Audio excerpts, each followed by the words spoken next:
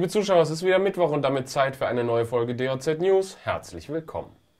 In einem Zeitraum von drei Jahren haben unbekannte Täter bislang 23 Stücke Rehwild im Raum Neudorf, Neudorfberg und Großpesendorf in Österreich gewildert.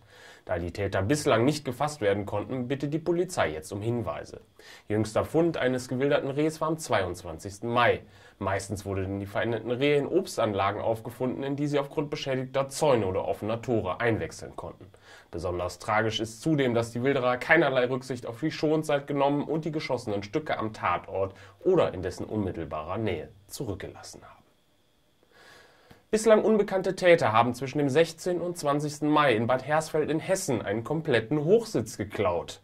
Vermutlich haben die Täter zum Abtransport des Sitzes einen Anhänger genutzt. Der entstandene Schaden beläuft sich auf rund 500 Euro. Hinweise nimmt die Polizeistation Bad Hersfeld entgegen. Die Kontaktdaten findet ihr wie immer auf unserer Homepage unter www.dz.de. In einem Wald bei Grafrath in Bayern hat ein Jagdhund zwei abgeschnittene Körperteile eines Affen gefunden. Bei den Teilen handelt es sich um die abgetrennte Hand und den Fuß eines Schimpansen oder eines Gorillas.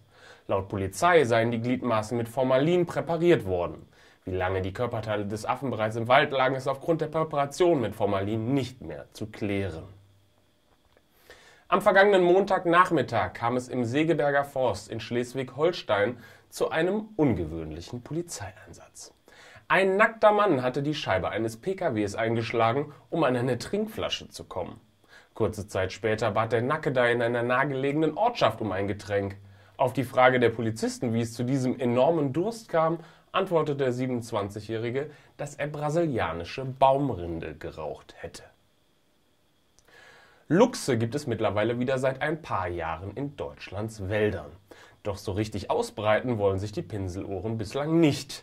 Die Ursachen dafür sollen nun in einem Modellprojekt erforscht werden. Aktuelle Schätzungen der gesamtdeutschen Population gehen von etwa 140 Luchsen in Deutschland aus.